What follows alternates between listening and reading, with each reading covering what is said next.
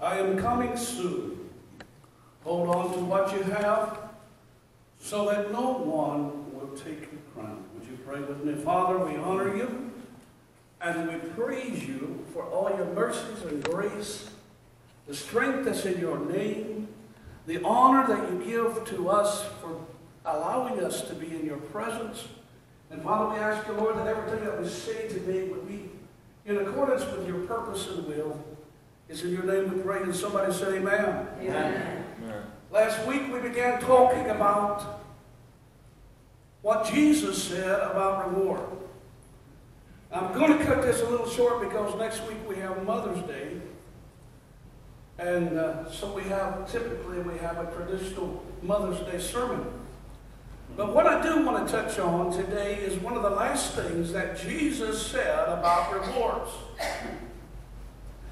And it seems that it brings up a lot of questions. This, this short statement here in Revelation 3 and 11.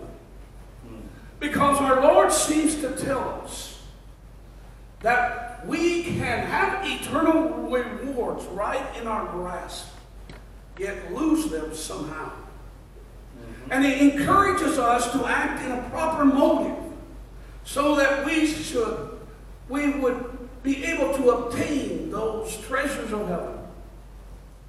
Now, the crown Jesus speaks about is mentioned throughout the, the New Testament. James calls it the, the crown of life in James 1 and 12. And then in Revelations 2 and 10, we read the same thing. Paul said it was a crown of righteousness in 2 Timothy 4 and 8. Peter said it was a crown of glory in 1 Peter 5 and 4. And again, Paul speaks up about the crown and says it's a crown of rejoicing. 1 Thessalonians 2.19. And an incorruptible crown in 1 Corinthians 9.25. Whatever it's called, it's still the same crown. It's still the same reward. And Jesus is talking about this reward in our text. And as I look at that statement that he makes, it makes me want to pause. As he said, let nobody or let no man take your crown. Now, in order to understand what is being said, we have to go back to the Greek. Amen. Because it comes very, it comes out very strong. Beware, be aware that no one takes your crown. Almost seems as though it's a violent type of taking. Mm-hmm. That someone can take it out of your hands. But if we go back and we look at the Greek, we see that the Greek word is lambano, which means a passive type of taking. In other words, they're only taking what you give. They can mean taking or receiving. In other words, the crown that we have, no one can take it violently. No one can take it by force. But it's taken when we we uh, when we allow it to be taken from us. Now, we know that men are not typically in the business of taking from us our eternal crown. And if we look deep enough, we see the puppet master beyond uh, uh, the puppet master of people's actions is actually the devil himself. Our Lord said that the thief comes only to steal, kill, and destroy. Mm-hmm. Amen. So whatever actions man takes, whatever actions is in our life that causes us to relinquish the reward God has given us, the source of that temptation is not man himself, but Satan. But people are often used by Satan. Mm-hmm. Paul one time said we, we fight not against flesh and blood, but flesh and blood often becomes a vessel in the hands of Satan, just like you and I can be a, a vessel in the hands of God. So, let me sum up all that I have said up to this point. The verse carries a warning and an admonition. There is a reward, there is a prize, there is a crown that awaits those who remain faithful to the Lord. We must hold fast and not give it up. We can't allow someone else to be instrumental in stopping us from receiving our reward for whatever reason. We must remain faithful in pressing toward the mark no matter what. Mm-hmm. There's many ways that Satan uses people to interfere with our spiritual rewards. Mm-hmm. But I want to just talk about two of them today. And as you as you survey your mind, I'm sure that you can come up with, with other ways that Satan uses people to hinder our eternal rewards. One thing Satan uses to interfere with our eternal reward is influential people. People that you allow to have influence in your life. And these people can be in the church, they can be outside of the church. Over the years, many have looked up to particular ministers, or deacons, or members as a standard to follow. We've heard accolades like, isn't he or she great? Aren't they a great example? That person really demonstrates the way we ought to live. Their marriage exemplifies what all of our marriages ought to be like. Mm-hmm. Only to later be shocked when these same wonderful human examples leave the church or get divorced or do something that is perceived as offensive. Mm. When we allow people or we allow ourselves to fall into this trap of placing human beings on a pedestal. We're setting ourselves up for a man to be able to take our crown. We have been warned that false teachers will come into the church mm-hmm. in passages like 1 Timothy 4 and 1. The Spirit clearly says that in the latter times some will abandon the faith and follow deceiving spirits and things taught by demons. Mm-hmm. Oftentimes, Satan's instruments come dressed in robes of righteousness and purity. But they're pointing in a direction other than God. They're pointing in a direction that we're tempted to follow. What is possible that if we follow people, we will lose our reward. Amen. Oh, yeah. Amen. We've all seen the physical examples of people following blindly. Mm-hmm. I'll never forget when I was a kid and the Jim Jones incident come out. Blew my mind that people, someone could have that much influence on other people. Oh, yeah. True. But it seems to me that there are a certain amount of people in this world that are looking for someone to attach themselves to, someone who has all the answers. Hmm. I was watching a documentary a, a couple months ago about this um, this cult out of California. It had nothing to do with religion. It was it came off as a teaching on how to live a life that is healthy mentally. And it, it got so far off that um, people were doing things. When you look at it from a distance, you would go, wow, how is that possible? I want to tell you how it's possible. Sometimes we replace the great example that God has given us, Jesus Christ, with other people. Mm-hmm. And even, even if people are walking a close walk with God, even if they're in the very realm of fellowship with Christ, they can fall aside. Look at Judas, who spent three and a half years in Christ's ministry. He saw all the miracles that were done. He saw the dead raised. He heard the lame, or he, he heard the, the deaf talk. And converse with other people. He saw the lame get up and walk. He had been a part of many miracles that you and I would only have dreamt of in our life. Yet after three and a half years, he abandoned the great ministry of Jesus Christ and betrayed him. Mm-hmm. See, the problem with following people is not only that they are not always what they seem to be, but sometimes even when they are what they seem to be, they fail down the road. Mm-hmm. And if we're not careful, we can lock into someone who will cause us to lose our, our crown. Very good what's common in our church movement today is that there's people who will tell folks what they want to hear. Mm-hmm. Scripture said in the last days they will grow into themselves teachers having itching ears.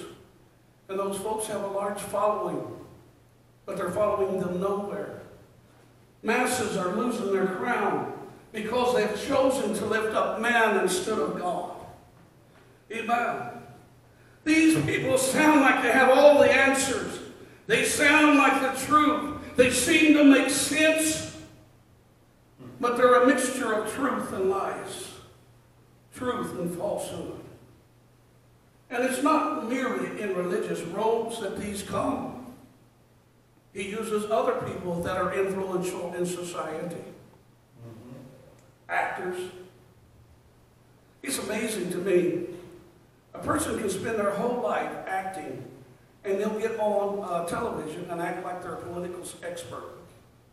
Mm-hmm. And masses will follow them. Oh, yeah. He uses politicians. He uses social media personalities, professors, even family members. And this problem with family members goes clear back to the days that Christ walked the planet. Jesus said in Matthew 10 37, Anyone who loves their father or mother more than me is not worthy of me. I want you to notice that. He, he said, if you love them more than me. You see, because sometime in our life, if we have a love that's greater than God, that love will direct us. I don't care if it is a member of our family. Our love will direct us away from God's will for our lives.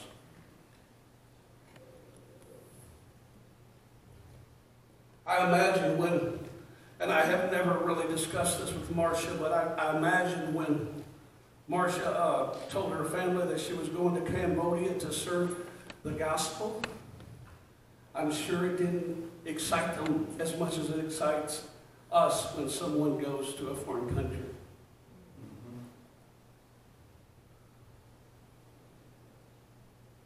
I've had many ministers, friends whose who was raised in ministry families and all the sheep bites that pastors go through. And they told their parents they were called to preach, and it was almost as though their parents had a burden put on them mm-hmm. because they didn't want their kids to walk through the same things they had walked through. Mm-hmm. if we love anything more than God, eventually it's someplace in our life it will take us away from God's purpose for us. So Jesus said, Anyone who loves their father or mother more than me is not worthy of me. Anyone who loves their son or daughter more than me is not worthy of me. We have to be careful because our relationships can cause us to lose our crown.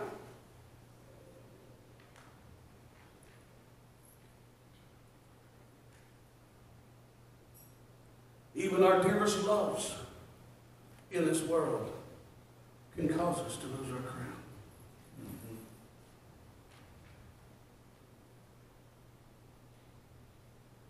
If we desire to keep our reward, we must do what Proverbs, the 23rd chapter, tells us in the 23rd verse. Buy the truth, sell it not. Buy the truth and do not sell it. Wisdom, instruction, and inside as well. Amen. We must sell out to God. Amen. With every fiber of our being, every purpose of our mind, we must understand that God's priorities must now become my priorities. And God's vision for me must now become my vision for my life. Amen. I can't allow people to interfere with me gaining my reward. I won't give it up. I don't care who they are. I don't care what they think. I've decided to follow Jesus, and He's the greatest priority of my life. Amen.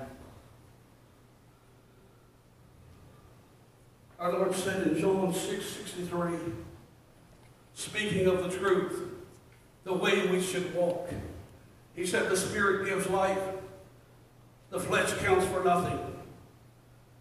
The words I have spoken to you, they are full of spirit as life. Jesus said, The only thing that's valuable is what I say. Amen. The only thing that has a, a, a eternal hope tied to it is what I've instructed. And so the proverb says, I want you to buy that truth and do not sell it. Get that wisdom and instruction. Get that insight that only comes from God. Have you ever been in a place in your life where you had a, a fork in the road and you, and you didn't know which direction to go? Mm. And the Holy Spirit speaks to you somewhere along the way. And all that you had wondered about becomes clear. Now, that don't happen to people who are not seeking God's direction. If all you're depending on is human wisdom and understanding to get you from day to day, if you're not seeking the truth, if you're not seeking wisdom and insight that only comes from God, then you're going to be lost because only God knows the beginning from the end. Only God knows everything in your environment. Only, only God knows the motives of, of those that are around you. And only God knows what's going to be a positive influence and what's not. I think of the Old Testament story of Samson. Samson, the Bible said, loved Delilah. And in his love, he couldn't imagine her wanting to harm him one iota. Mm. Oh, sweet little Delilah. That fox Oh, she wouldn't do anything bad. Come on, love. My mama used to tell me when I was growing up, love is blind. It's deaf and dumb too. I'm not gonna that one. hallelujah, but I will tell you this much. In mind that we should have our eyes as as we spoke about Jesus, he said that he fixed his eyes past Calvary because he understood the reward. Mm. As Paul told us, fix our eyes on Jesus, the author and the finisher of our faith. Amen.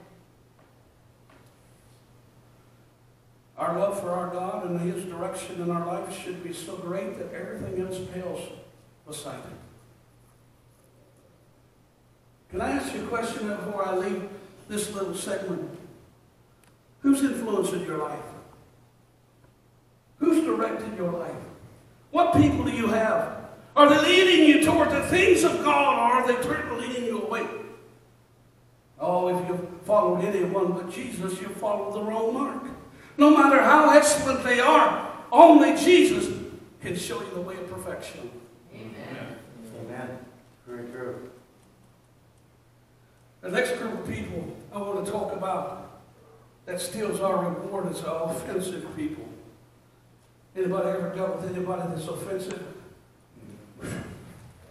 Do you know that there's offensive people that go to church?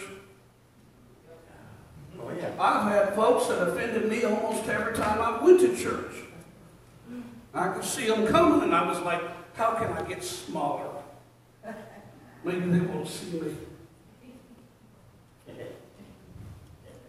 Took my first church, it was a wonderful church, but we had one guy who made it his mission to make the pastor's life difficult.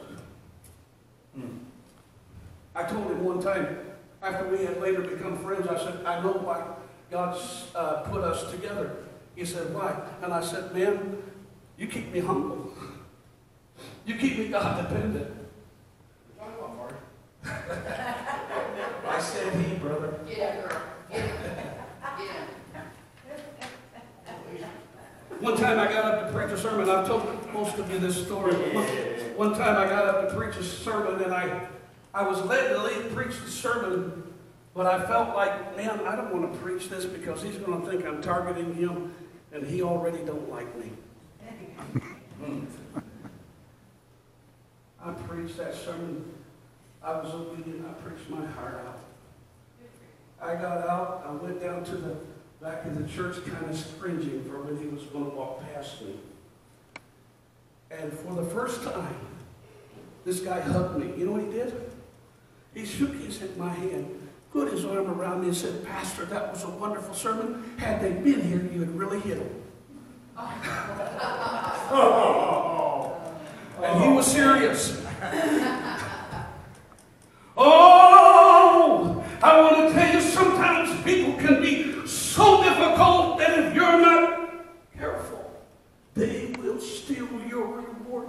They'll steal your victory. They'll steal your joy. They'll steal your triumph. They'll steal all the things, the life, abundant life that God has desired for you to have. Amen. True. Oh, it's easy. Oh, God, don't you know that in that church there's nothing but hypocrites? Oh, man. I've had people tell me that, said, well, you know what? If you was a pastor and you know him like I don't, no, I didn't say that, but I thought it. Oh, sometimes we deal with ordinary people, don't we? And sometimes we can let it defeat us. Sometimes we can allow it to wear us down. Sometimes we can we can lose focus about of what's important. Now we've all seen people fired up for God, but someone along the way hurt them. In response, they turn to God or turn from God and have nothing to do more to do with Him. Perhaps someone's talked bad about them, rejected them. They've allowed bitterness to get into their heart. Mm-hmm. But the crazy thing is, they take it out on God. Yeah. We've all been offended.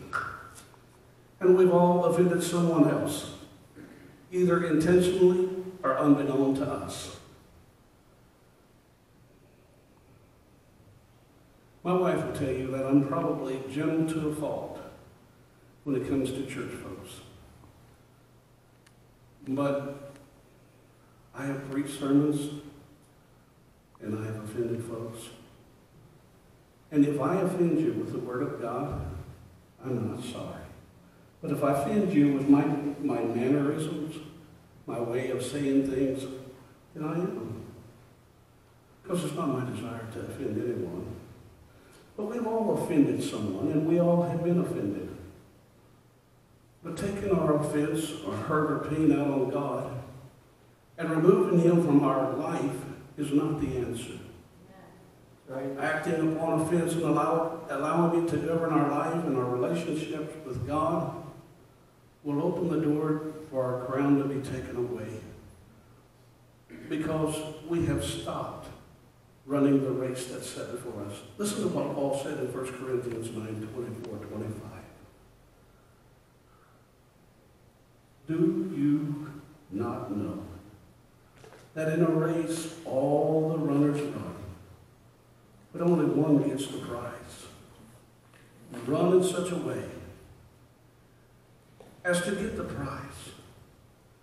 Everyone who competes in the games goes into strict training.